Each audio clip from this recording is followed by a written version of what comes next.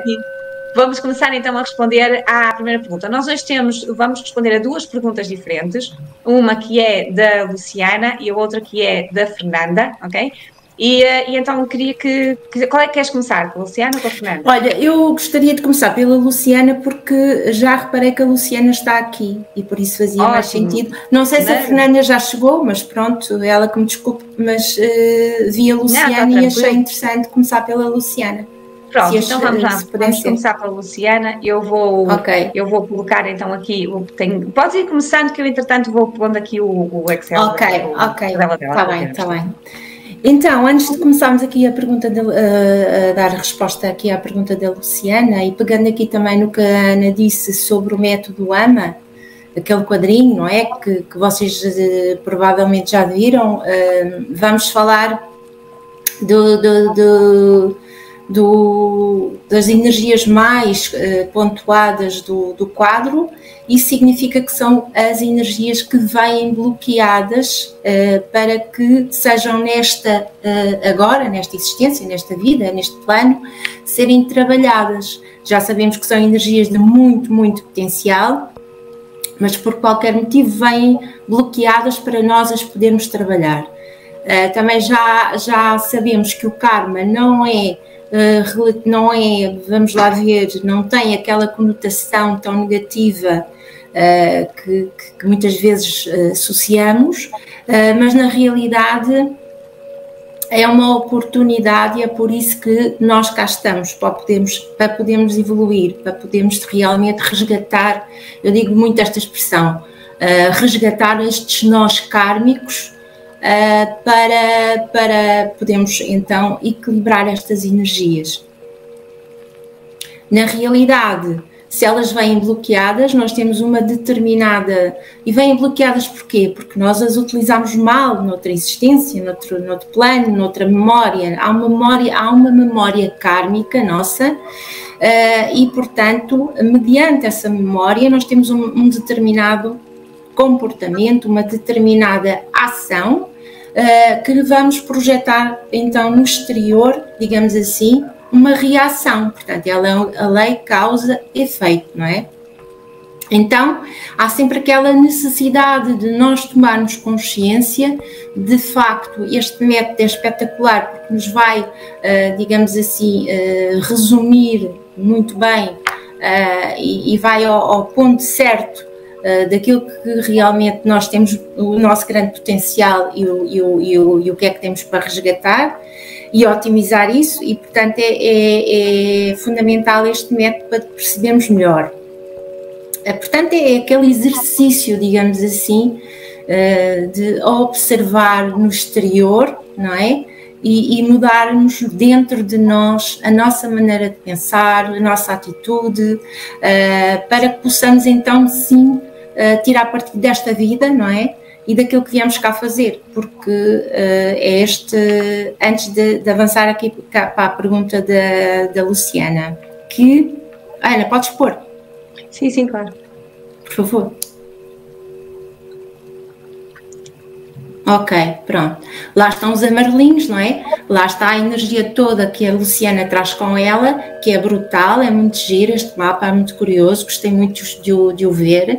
Tem aqui pontos muito, muito importantes uh, que valeria a pena realmente a Luciana aprofundar. Uh, mas respondendo aqui à pergunta da Luciana, é uma pergunta muito tocante, que lá está, acaba por ser muito transversal a todos nós. e a Luciana já teve cancro da mama duas vezes e ela quer muito saber o porquê e provavelmente como é que o que é que pode fazer à vida dela. E antes de responder à tua pergunta, Luciana, eu uh, queria, um, queria te dizer que és de muita coragem por estar aqui, a dar a cara, um tema tão, tão forte e, e pronto, que nos mexe a todos, como já disse, e obrigada por estares aí uh, e obrigada por trazeres este tema que é difícil, mas que eu acho que o facto de trazeres aqui já estás em processo de cura, percebes? Já estás a perceber que realmente há alguma coisa que tu podes fazer por ti e isso é muito importante e não estás na vitimização. Então, pegando nisso, nós sabemos sempre, e, e, nós sabemos e está provado, que há sempre uma origem psicológica, uma origem emocional para todas as nossas doenças. Pegando aqui no caso do cancro, o cancro não é nada mais, nada menos do que o resultado, digamos assim, de, de, de tensões na nossa vida que nós recalcamos, que nós escondemos, que nós tentamos abafar, porque a célula cancerígena uh, acaba por ser uma célula que sai do seu percurso, porque já não consegue aguentar onde vive, já não tem ar, já não tem luz, já ela tem que mudar. Então o que é que acontece? Um, um, ela vai se vai seguir um outro percurso, assim, não é? E então há uma mudança e essa mudança tem a ver com o facto dela querer viver de outra forma. Então degenera. Isto, pronto, isto é para irmos aqui às tuas emoções, porque na realidade, o que é que acontece aqui? Um, a doença veio para te alertar para algo que tu tens de mudar. Partindo aqui das, das tuas emoções, da, da área emocional, que é aqui que eu vou me prender mais. Eu não sei se a Luciana, eu não estou a ver os comentários para não me distrair, gostava de ver se eu, para a Luciana eu estou a ser, estou a responder Ela ainda já. não, deu, ainda não, ainda não ah, fez nenhum okay. comentário, mas, mas Luciana, se okay. quiseres, estás à vontade, podes comentar, podes dizer aí o que é que tu pensas sobre a situação, que também é interessante para nós termos o teu feedback, está bem? Exato. E então, Aqui no caso das emoções da Luciana é o seguinte, que, a meu ver, portanto, há aqui uma grande, grande uh, responsabilidade que ela traz, uh, é um karma que ela traz de grande responsabilidade. Provavelmente ela foi uma pessoa ou teve uma energia de muita autoridade no passado, muita autoridade, aqui algum poder também misturado e que por qualquer motivo, muita autoridade e responsabilidade, mas não soube utilizar bem essa energia, então ela vem tolhida, não é? E na parte emocional, ela uh, uh, acaba por ser muito responsável Uh, na, na, na, na, forma como vê o mundo, assume demasiados compromissos, um, acaba por depois se, se, se, criar aqui uma defesa que, como é muito responsável, muito estruturada, muito madura e até muito sábia, um, acaba por uh, não se, uh, digamos assim, um, ser ela Expor. própria, expor-se muito, exatamente. Portanto, não se dá, ou, ou, ou, não se permite viver as suas emoções porque isso vai fragilizá-la. Atenção, Luciana, que isto é tudo inconsciente, nós não temos noção disso. Uh, e, portanto, de uma maneira inconsciente, acabas por te fechar na tua concha para não chorar, para não extravasar, para não mostrares aos outros que és frágil, porque tu és forte, isto vem contigo.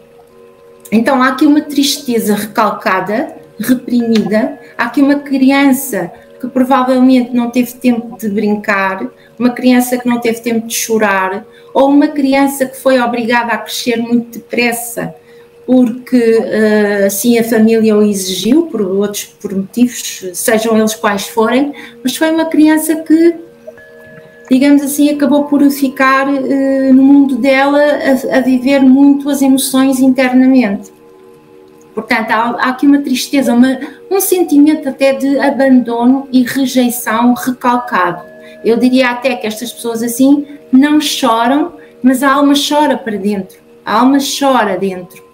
Então, o que é que acontece? Um, e isto não significa que não sejas sensível, porque tu és sensível e até tu uh, gostas e, e, e tens uma empatia muito grande pelas pessoas. Então, o que é que isso vai acontecer?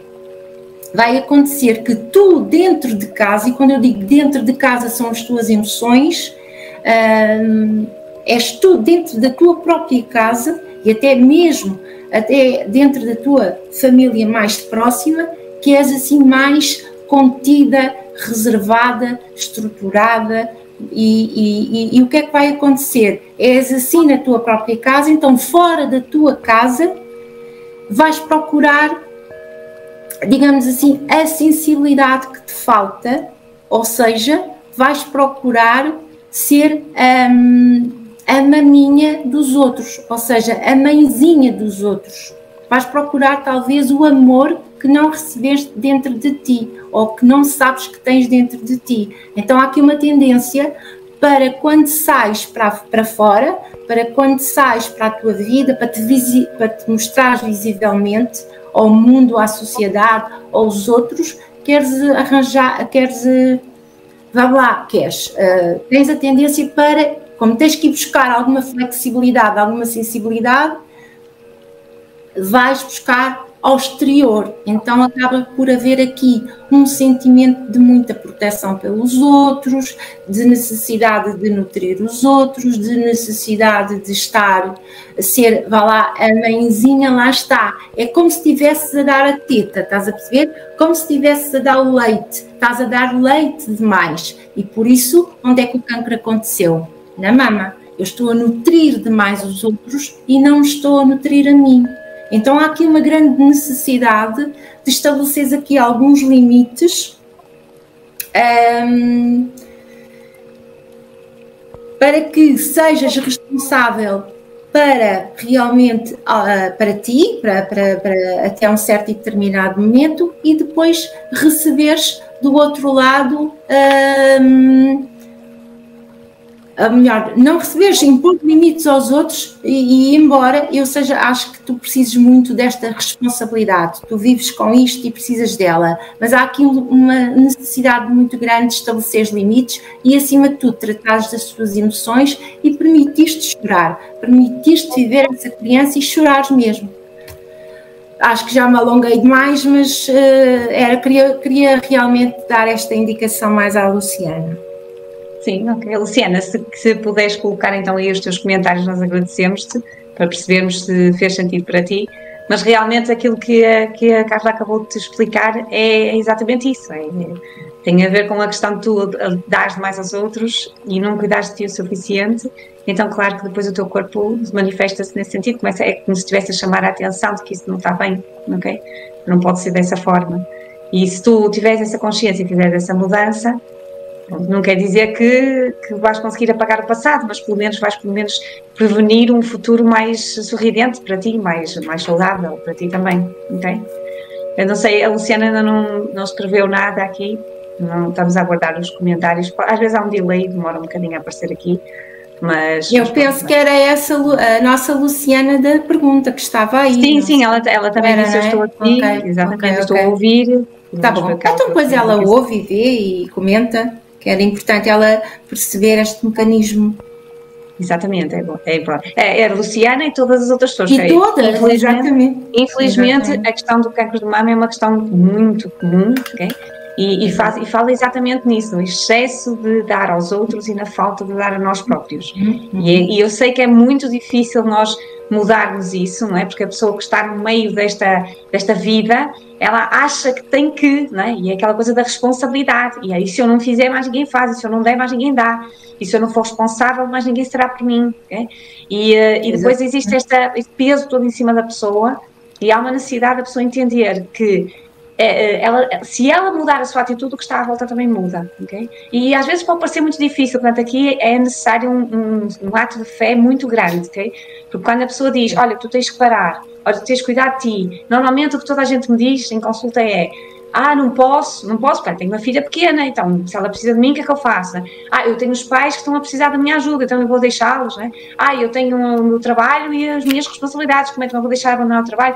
Não é uma questão de a pessoa mudar radicalmente a sua vida, é uma questão dela ir mudando aos poucos, okay? e ela começar a mudar, principalmente dentro da cabeça, principalmente o saber chegar Exato. a um ponto em que diga assim, ok, olha, até aqui eu vou, mais do que isto já não consigo ir, ok? Portanto, agora no trabalho, olha, tentem arranjar outra pessoa para ajudar, porque eu não posso assumir estas responsabilidades todas, mesmo com os filhos, é ok, olha, eu ajudo até este ponto, a partir daqui tu também tens de ter as tuas próprias responsabilidades, porque eu não aguento com tudo, né? mesmo com os pais a mesma coisa, porque se a pessoa não fizer, este, não tiver este tipo de atitude, mais cedo ou mais tarde ela vai estar muito mal e depois ela não, ela não vai conseguir ajudar ninguém, não é? E é aquela célebre frase do não des o peixe, ensina a pescar.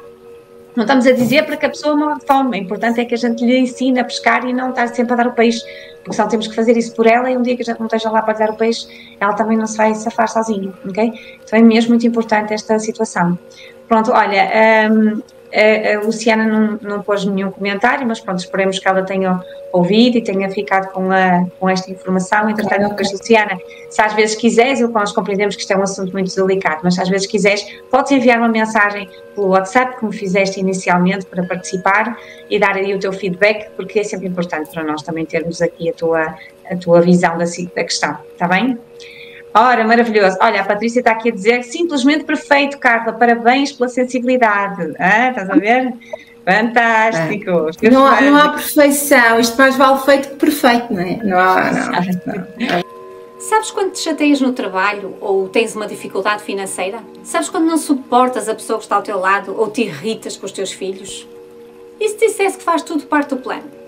E se soubesses como deverias agir para mudar tudo à tua volta? Agora já podes saber o oráculo astrocartomância não só te vai explicar porque estás a passar por aquela situação, como te orienta para o que podes mudar em ti e que se vai refletir fora de ti. Oráculo astrocartomância, base celeste, 36 cartas astrais e manual explicativo. A resposta da vida nas cartas. Adquire já o teu exemplar em anamacieira.com.